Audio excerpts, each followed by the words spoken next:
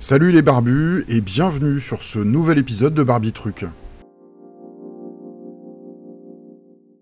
Depuis maintenant quelques mois que j'ai transitionné de mon joli atelier à mon salon, j'ai un trou de créativité. Encore mentalement dans mon atelier, mais physiquement chez moi, j'ai du mal à créer.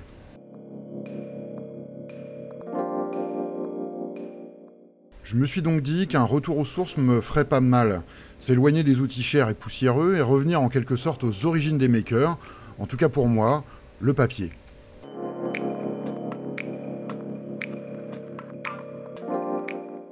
J'ai donc pris un modèle de boîte que j'avais décortiqué et gardé, et l'objectif ici est de le recréer.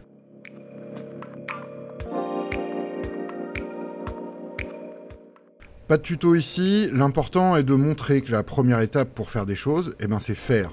Peu importe la matière, le média, les outils, se lancer et faire quelque chose.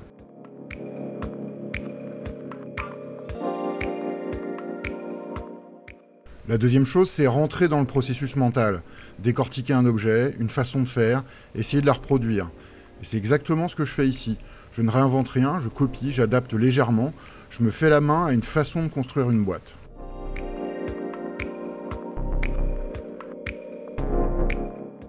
Et des boîtes comme ça, on en voit partout, donc ça pourra m'être toujours utile de savoir me construire une boîte en papier ou en carton à dimension variable pour un futur projet.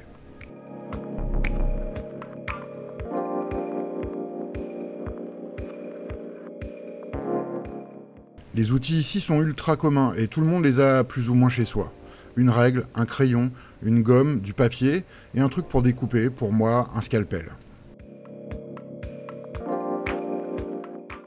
Mon projet avec cette chaîne n'a jamais été de devenir célèbre ou riche, mais de partager avec le plus grand nombre le plaisir physique et intellectuel de fabriquer des choses, de modifier des objets du quotidien, des choses qui nous entourent.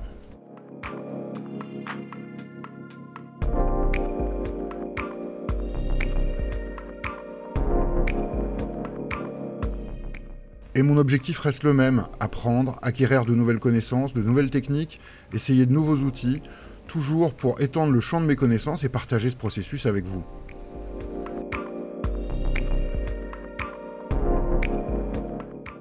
Ce changement de lieu, ce retour aux sources est un peu difficile à digérer, mais salvateur.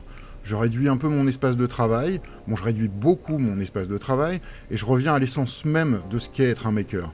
S'adapter aux contraintes et continuer à faire, à bidouiller, à fabriquer, à modifier, peu importe les outils, espaces ou connaissances disponibles.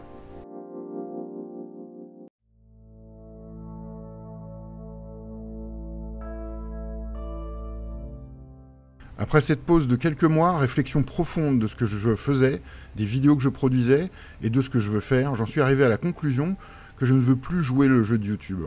Produire par habitude ou obligation, mais le faire parce que j'en ai envie et faire des choses qui me plaisent ou qui pourraient vous être utiles. Donc le retour aux sources n'est pas juste une question d'opportunité, mais ici est pour moi un processus salvateur. Faire des choses qui me plaisent, prendre le temps sans aucune contrainte.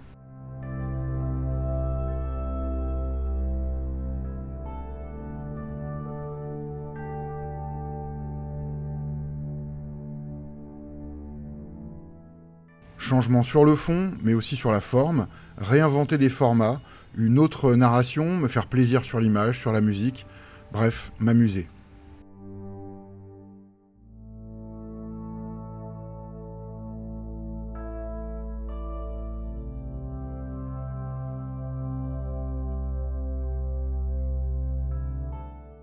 Pas mal de réflexions et de choses qui bougent petit à petit, aucune idée de la forme et de la fréquence de tout ça, mais le raisonnement avance.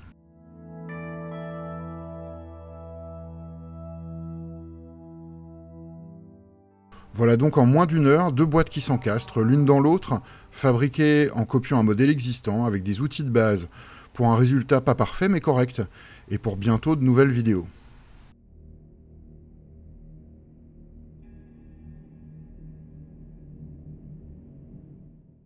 Voilà, c'est tout pour cette vidéo, que la barbitude soit avec vous, faites des trucs, inspirez-vous, et à bientôt.